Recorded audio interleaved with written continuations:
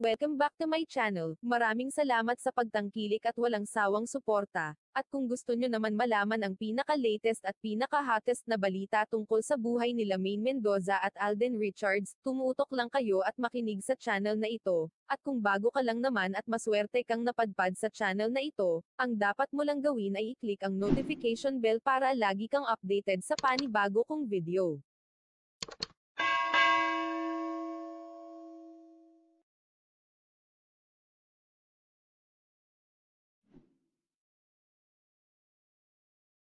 Kinagulat ngayon ito ni Maine Mendoza na balita ano kaya ang mangyayari nung nalaman ito, ating klaruhin ang mga ito, pero bago tayo magtungo sa nasabing isyo kailangan na muna natin na i-shout out si Sir Joey De Leon dahil may nagsuggest sa comment section nito at happy birthday Sir Joey, dahil sa walang sawang pagmamahal kay Maine at Alden at sa pagsuporta sa dalawa hanggang ngayon, at sa mga team abroad dyan na laging nakasubaybay sa mga bagong update sa Aldab, sa mga team bahay mag-ingat po tayong lahat na mga Aldab Nation, and lastly sa mga team senior dahil nga sa marami pa ring nagmamahal sa dalawa, at marami na rin ang naging silent fan dahil nga sa mga nangyayaring mga solo projects ng dalawa ngayon, pero once na muling bumalik ang Aldab ay marami na ulit na Aldab Nation ang babalik at muling ipaparamdam ang bagsik ng mga Aldab Nation. Marami nga kumakalat ng tungkol kay Maine Mendoza ngayon na harap-harapan na ang panggagamit sa kanyang pangalan, dahil nga sa isang sikat si Maine ay natural na bang gamitin ito lalong-lalo na sa mga naghaanggad ng posisyon, at nagpasimuno pa si Maine Mendoza sa kanyang kasama sa DG dahil nga sa naturang prank na gagawin dapat ng staff sa isang kasamahan nila,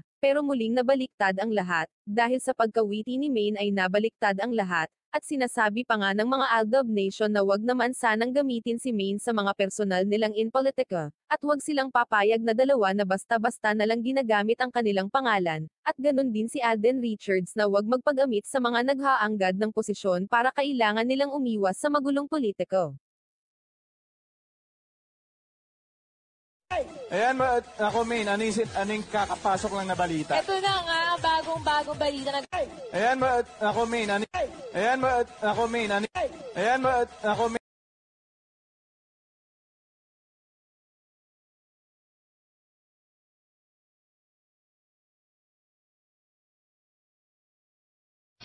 Balanse, gitna, gitna. Gitna. Eh, kung kailangan mong pumiling isa, ano mas pipiliin mo, Ah. career or love life? Siguro uh, love life. Love life. Okay. Alden, sorry, pero si Martin. sorry na. Ayun pala, crush. Ayun, international Ah, crush. yes po. Bakit mo sobrang crush si... Eh kasi, ala!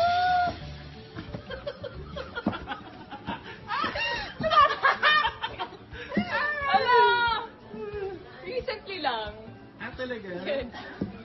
Ayos po.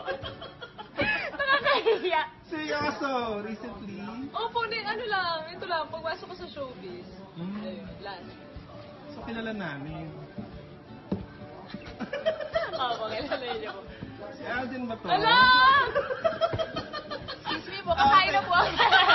Ano ang naging opinion nyo dito mag-comments na lang sa baba, at maraming salamat sa pakikinig at hanggang sa susunod ulit na balita na tungkol kina Maine Mendoza at Alden Richards.